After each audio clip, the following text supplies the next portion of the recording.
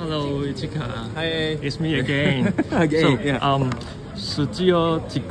いてもらいました何やねそれあ、あ、ひ、uh, どここっちいやいや、ひ OK いや数字十個、なにこれいや、数字10個二三。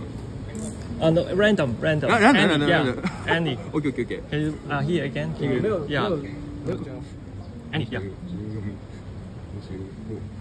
え13、 Right. 11、1、2、3、4、5、6、えっと、100、2000、そう、13、37、 Okay. 1。 Okay, thank you. OK。 Thank you so much. So here are the numbers I got from Ichika. You can see um 7, 20, 14, and 55 right here. And there are two ways I can use this number. The first way is to treat it as the actual fretting number. So 7, it means I have to play something on the 7th fret. And 20, I can either play 20 or 2 and 0 and etc.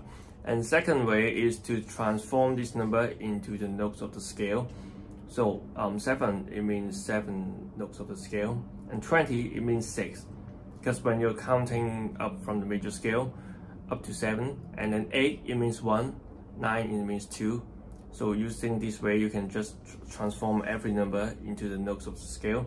So we got um 7, 6, 7, 6, 6, 4, 5, 6, 6, 1. So it should be sounding something like that.